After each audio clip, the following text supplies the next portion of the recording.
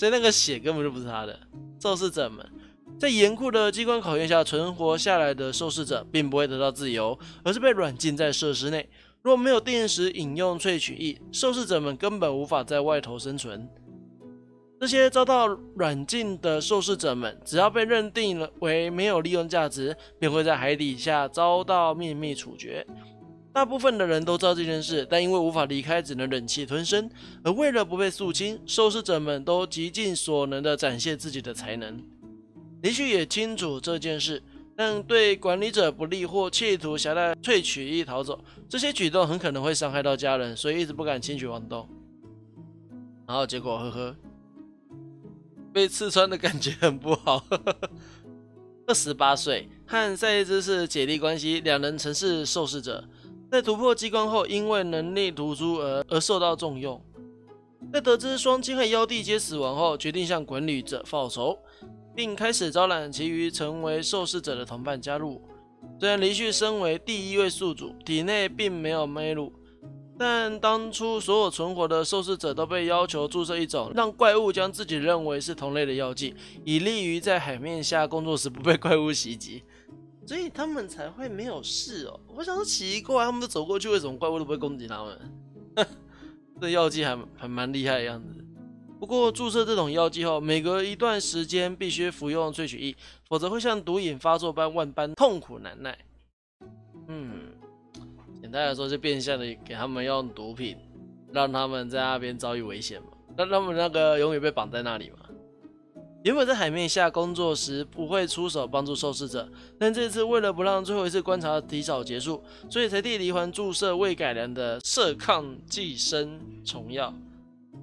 那个射是多余的吗？就后来死掉了。头发的颜色染出来，原本的发色是黑色。二十六岁，性格狂妄，喜欢说些酷酷的耍帅话啊，喜欢说些酷酷的话耍帅，容易冲动。和离旭是姐弟关系，自愿接收离旭身上的寄生虫，成为第二宿主，并服下控制马鲁的药物，让手背长出像是刀刃般的红色武器，根本就他妈原型兵器吧？看，根本完全就一样的。本身运动细胞相当好，得到马鲁的控制权后更如虎添翼。事实上，他并不讨厌被寄生这件事。在与离旭一同突破机关时，多次以肉身替他挡下攻击。当时的他保持着只要能让离旭活着离开，自己牺牲也无所谓的心态。嗯嗯，看得出来，把整张脸遮住逼不得已，习惯后感觉还不错。我还蛮好奇他的脸到底是怎样。三十二岁，服用了控制马鲁的药物，能够让背后长出六个触手般的鲜红爪子。曾经是接受药物试验的受试者之一，四年前在不知情的情况下接收了妻子体内的寄生虫，成为第二宿主。哦，他是有老婆的，去。夫妻两人突破各种机关，共同撑到最后，但妻子因为先前受伤失血过多，最后还是不治身亡，留下他。逆来顺受且具敏锐的观察力，让他在管理者心中建立起听话又有能力的形象。脸部会被遮住的，原因是因为两个月前接受控制马鲁药物人体实验的缘故。虽然成功控制，但也使得脸部某些部位突变，不得不用口罩或目镜遮掩。OK，然后这里是哦，呵呵，他们两个抗寄生虫的副作用就让我一个月瘦快五公斤，我可以要吗？十五岁和现实城市邻居关系，是那种熟了才会发现他很开朗的个性。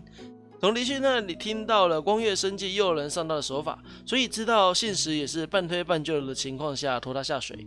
但只要他坚持不妥协的话，自己也不会受害，所以对现实还是有诸多不满。讨厌和爱慕的心情混合在一起，让他感到很头痛。在激光场地时，受到梅露米暗中帮助。第一次是和现实分开行动的人造公园，地板裂开时，梅露米拉住离环才没死，摔到下面。第二次则是离环发作时及时喂予萃取液，并且将昏迷的他带去离旭那里救助。哦，我以后也会脚踏工脚踏实地的工作赚钱，你还是去死吧你！十七岁休学中，中学时和离环曾是邻居关系，生天生怕黑。在发现自己和离环的处境后，因为罪恶感让他的性格上变得十分压抑。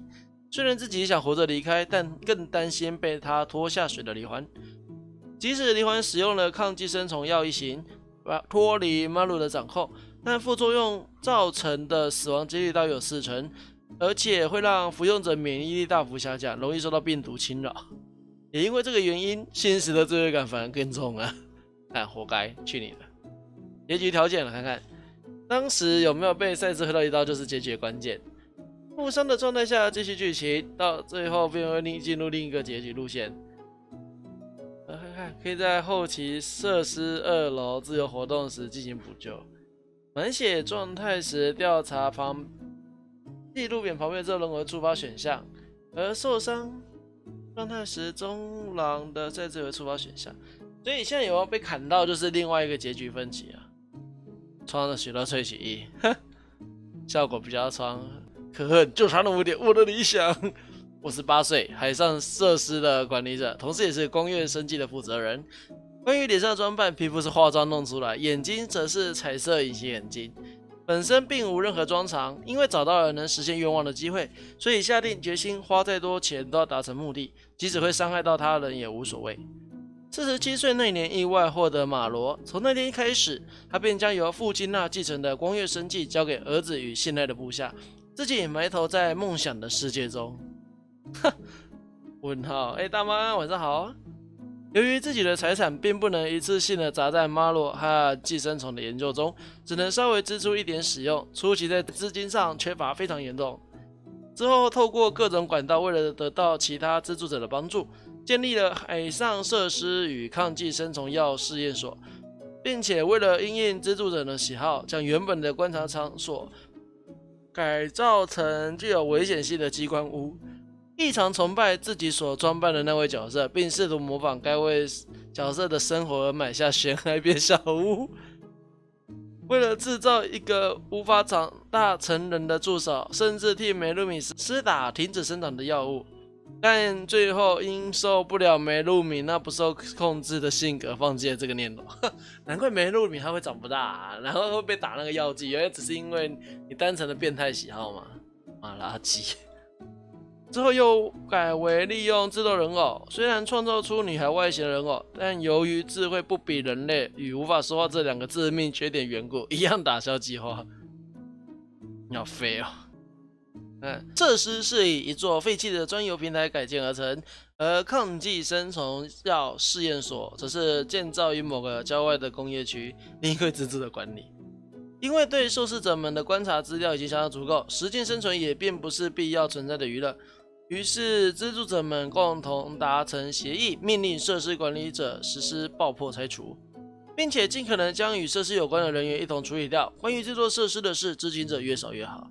而设施的管理者因为只顾整理重要资料，脑袋只想着上岸后成名的事，在其他工作的调配上都以随便态度，导致游戏后半段在设施上曾出现各种混乱场面。原来是这个智障害的吗？这智障自己雷自己耶！我真的是第一次看到这种雷包。哎，吴明德，安安，晚上好，真的很雷。那你好配哦，原本可以完整的。解除这些状况，结果就被你自己雷到。试验所在设施爆破后，能致力于改良抗寄生虫一型的工作。此外，也进行着其他和寄生虫相关的药物研发。设施管理者死掉后，虽然无法再利用光月生界名号引诱药物试验者上门，但其他方法还有很多，所以牺牲者还是不断的增加当中。所以简单的说，这个其实以最后结果论来说，根本没有什么帮助嘛。西米露要听这招好的废话吗？好啊，听你说，当初是和寄生虫扯不上边的怪物，也不是实体存在生物，一直在做利用事件制造各种奇怪的研究。偶然发现，啪啪扑跑这部漫画，看了姐姐，冒出了寄生虫寄生人吃人的想法，诞生这款游戏。哈哈命金。初期命名为马鲁蠕虫，中间有点土，决定说说 用什么草草的音译比较舒爽。大部分功能都是用事件实行的，出有时候会出现一些小杂事，干。就是你那该死的，害我浪费好几多子弹，浪费超多发子弹的。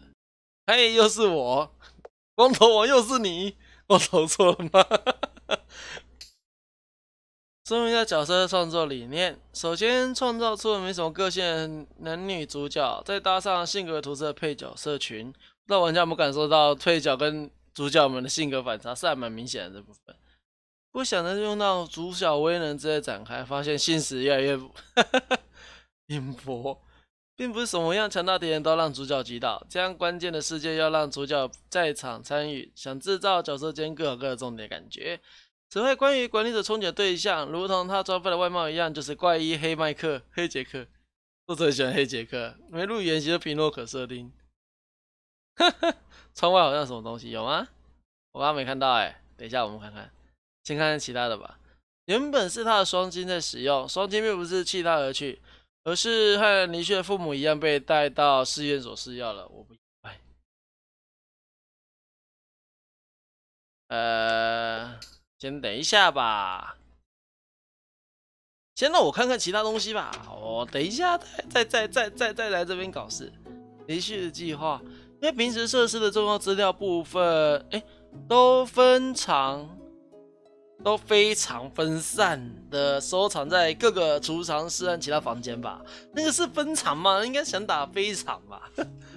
要在不被察觉的情况下收集所有资料。收收集所有需要资料可以说是相当困难，但在设施即将引爆的这一天，会将要吸收的纸本资料汇集成容易携带的资料本，其数据资料则存在随身碟和记忆卡一同带出，所以决定由中田负责拷贝数据资料，梅露米负责纸本资料，两人当天都收齐了所有该带的东西，一样也没少。厕所，那这里是信使的房间嘛？然后这是谁啊？你谁啊你？爸爸真的丢下我一个人逃走了吗？哦，这是上一个马鲁的寄生者，九岁，在不知情的情况下被接收了父亲的牺牲虫。父亲逃走后，因为不会被怪物攻击，所以在场地内徘徊。曾接受过梅露米一次萃取液的帮助，因为内心实在太过害怕，导致马鲁反噬加速度加快，死亡后尸体成为花的养分。不要怪我。四十六岁，与妻子离婚后，独自抚养女儿，因为失业缺钱而参加药物试验打工。得到寄生后，相当害怕，听从光月生计工作人员的建议，将女儿带往医院，以健康检查的名义进行了二次寄生。抛下女儿后，自己被尖刺机关弄伤，后来又遇上狼形机械，惨遭咬死。哈哈哈哈！喜后，来吧，我们来看看这个门后面到底有什么呢？前进，Go。哦哦，抱起，男孩人偶的玛丽莲，攻击姿态的中田，利用轮 假装受伤的梅露米，可是我记得他那时候脚是真的肿起来了。人海战术的压制人的三流警备啊，锋利的红色刀人一刀斩断西瓜，那有什么屁用？加上灵魂的重量还能跑那么快，真厉害。然后这是湖中老人，请问你打通是 A 结局 B 结局呢？我打通的是哪一个结局啊？A 结局还是 B 结局啊？A 吗？你骗人！我怎么知道？B 干！老夫喜欢诚实孩子，给你第三个结局。准备好进入第三个结局跟他交谈，什么鬼？我明明只只打通一个，变成花，这啥？哦，本作中体型最大、最巨大的怪物由人类突变而成，会用物理攻击外，身体发热，分解出滚烫黑色光球攻击敌人。因为设施爆破导致海水灌入他巢穴，受到惊吓，他死命冲出海面，开始无差别攻击。所以他是被受到惊吓，是不是？是由母体制造出的怪物，所以它不是人类变的，只有这个才是人类变的。露出头的怪物由人类突变而成，唯一会从身体分解出怪物的突变种，若是身为母体，它死了，分解出小怪也会跟着死亡。呵呵，那这有什么？被狼形机械炸死的怪物，喜欢贴在壁炉边，由人类突变而成。哦，他是要代替警警卫犬，哪有警卫犬腹部会装自爆装置？你给他喷，老助手，对是吧？难道人人还人会有攻击性？其实还是加入攻击的细胞系统。所以这两个都是人类制造而成的。然后这个呢，其中一个结局时登场的伙伴，顺带一提，在现实存活的结局，一年后也会发生同样，也同样会发生入侵试验所事件，现实也会加入该行动，有吗？谈的打击打手的角色，玛丽莲等身比例形态，他的金主的资 金钱资助雇佣技师知道等身玛丽莲，所以这些是其他的吧？啊，所以我如我有没有躲过那一个那个的那个叫什么？哎，吴明安晚上好，我有没有躲过那一刀，会影响到后续的故事剧情？不是选。要不要给他药才会才会到？我以为是选要，我以为是选要不要给他要这件事嘞。哦，回忆吗？美乳篇美米篇章哦，哎，设施篇章先不要吧，我觉得我先先存档。哦，第二个结局是被赛制杀掉的，严格来说，去死吧，再见，剩一滴血。梅枝花去了，小王安晚上好。不是最后应急处理的，这些重疾伤势应该很严重。有我外行人都看得出来，中田你应该很清楚吧？他挂了吗？怎么会？之前难关都撑过去了，不是吗？没有啊，哪有撑过去？被他砍那一刀之后就死掉了，就快死了。怎么可以在这结束？小新，再见了！最后，小新还是逃不过死亡的命运。负伤的李旭小姐也在抵达岸边之前就断气了。而套在我脖子上的圆环是李旭小姐给我服用的药物，在梅露米膏之下才得知，其实是未经改良的靠寄生药虫，靠寄生虫药。夜效起了作用，马鲁就像是无法忍受般从我的嘴里钻出，然后很快的就死亡了。我终于摆脱了这恶心的寄生虫，不过随之而来的副作用让我痛苦了好一段日子。这件事结束后，梅露米他们决定依照丽血小姐留下的曾经接受过药物试验的人员名单，找出这些人并给予救助，能帮多少算多少。而我也回归正常的校园生活，只是父母到现在还联系不到。空虚，我的心像是被贯穿一个洞似的，任何事都无法让我感到开心。如果小谢没对我做那种事的话，现在我应该是和爸爸妈妈过着快乐的日子。被害的那么惨，会恨他也是正常的，但我却没有办法把错全推到小信身上，甚至不希望他从我身边离开。这种情感，连我自己都无法理解。之后，从梅露米口中听到许多和花寄生虫设施有关的情报，也得知最近他们在计划着入侵抗寄生虫药试验所的事，目标是解救在试验所被当作试药员的受害者，还有大量萃取液。很快的，我便想通了一件事：我真正该恨的并不是小新，也不是设施管理者，而是生产寄生虫的母体——当初随设施沉入海底的未知花马罗。